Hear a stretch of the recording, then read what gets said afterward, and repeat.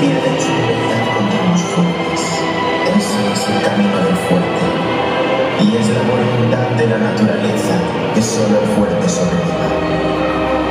Ahora es cuando soy consciente